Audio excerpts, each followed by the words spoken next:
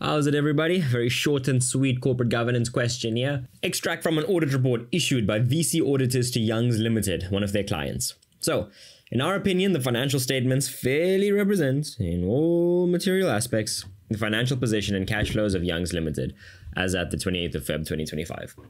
It was set in accordance with IFRS, uh, International Financial Reporting Standards, and compiled with the requirements of the Companies Act. Uh, the audit evidence obtained is sufficient, reliable, and appropriate to provide a basis for our opinion. Okay, awesome.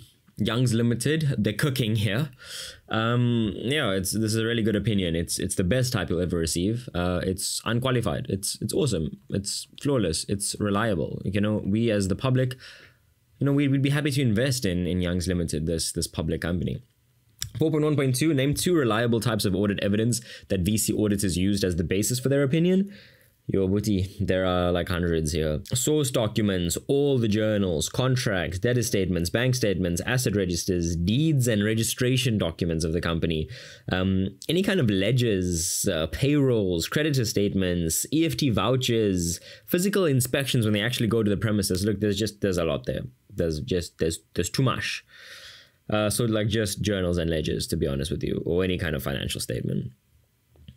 But yeah, journal, journals and ledgers are the easy ones. That's what I remembered when I was in matric.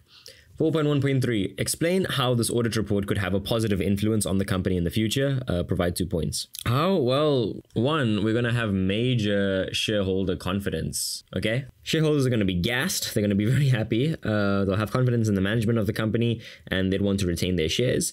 Uh, and not just that, it could attract potential shareholders, raise them up. Okay, look, that's enough Gen Z stuff I'm going to say. But yeah, Young's Limited is raising up potential shareholders. That's it. Um, also, it'll make it more viable for the company to raise more capital in the future. It's very lucrative. Uh, and not just that, it reassures stakeholders, any interested parties, that the company's financials are trustworthy uh, and just reducing other forms of risk. And that's basically it for the question. Nice, cute, quick, to the T, no nonsense.